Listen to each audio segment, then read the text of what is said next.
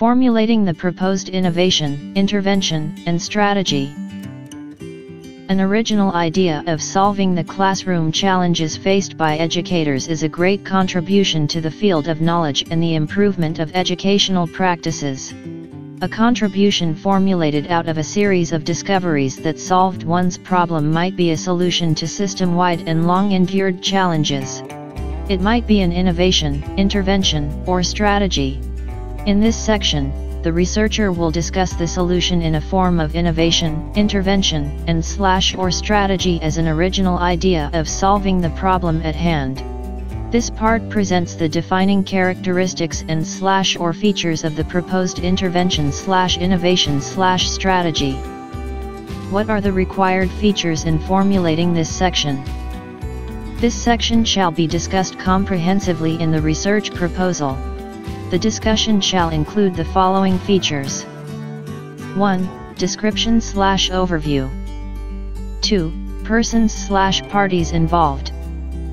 3. Activities slash phases slash components, A slash P slash C. 4. Extent slash limitations slash duration.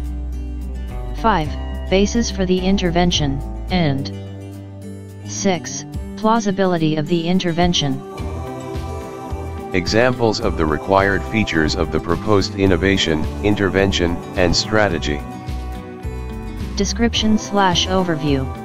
Generally, this subsection discusses the definition of the innovation slash intervention slash strategy.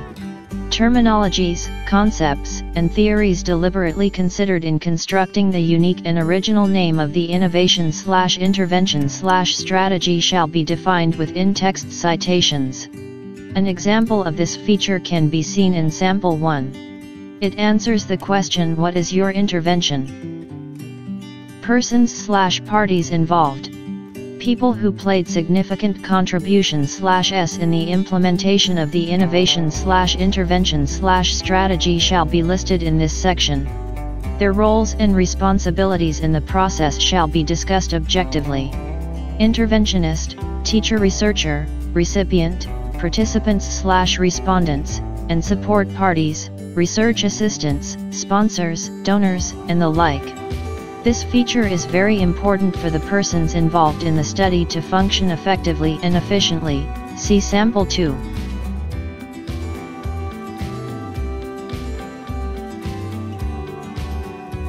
Activities slash phases slash components, A slash P slash C. A detailed discussion of the series of activities in the implementation of the intervention slash innovation slash strategy shall be discussed in this part. It is suggested that the activities shall be discussed chronologically and comprehensively from the start until the end of the implementation. This researcher might organize the activities by phase with specific components. The general phases of the activities such as pre-implementation, implementation slash intervention, and post-implementation, see Sample 3, shall be discussed in the paper. However, in this section, it is suggested that the researcher slash author shall organize the activities in phases slash stages to explain comprehensively the components of the unique and original intervention slash innovation slash strategy, see Figure 1. Figure 1 Stages of activities in the implementation of the intervention.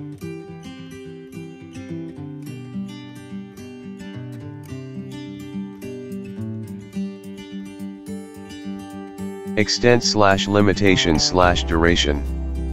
In this subsection, the researcher shall provide a specific time frame for the conduct of the intervention. It should be discussed with a specific date and duration, see sample 4. For instance, the timeline shall be for one quarter, once a week. It shall be stated with a particular date such as January to April 2022.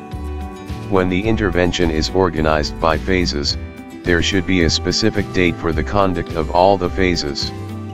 In addition, the extent and limitation of the study shall be discussed by specifying the characteristics of the participants, the context of the study, and other considerations in conducting the study. It shall also discuss the competency or variable where the intervention will be applied in a certain context.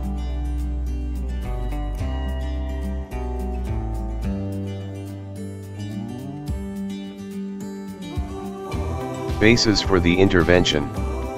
Ideally, an intervention slash innovation slash strategy conceptualized for implementation will be based on theories and concepts, see sample 5.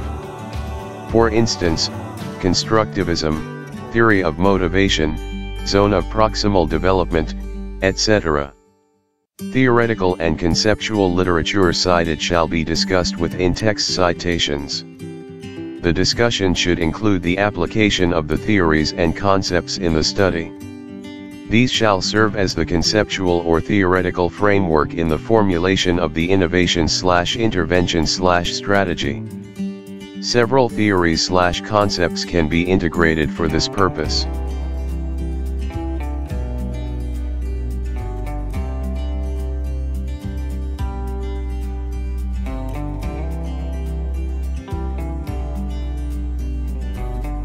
Plausibility of the intervention.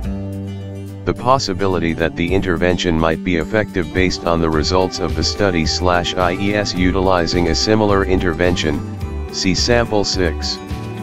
For example, the findings of actual experimental studies with the same slash similar intervention conducted by other researchers.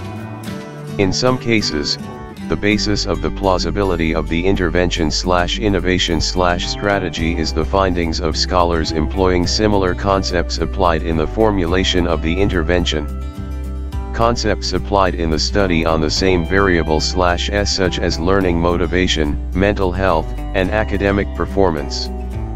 The findings of the study with similar concepts to that of the proposed study shall be cited with in-text citation slash s to support the plausibility of the proposed intervention and slash or the assumed effect of the intervention.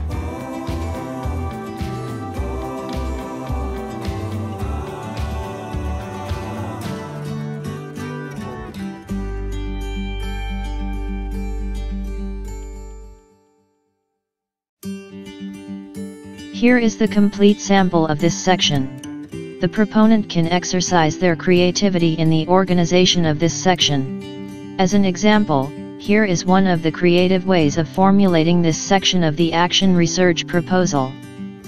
The proponent started this section from the description and slash or definition of the intervention slash innovation slash strategy, followed by the following subsections. Discussion of the conceptual or theoretical support of the intervention.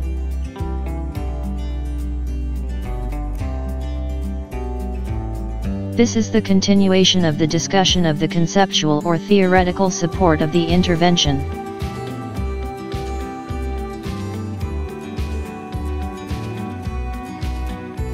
This is the discussion of the extent slash limitation slash duration of the intervention.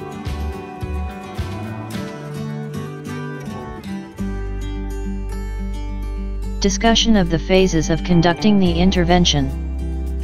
Note, the details of this section were presented in the appendices. Here is the Appendix F containing the features of the intervention.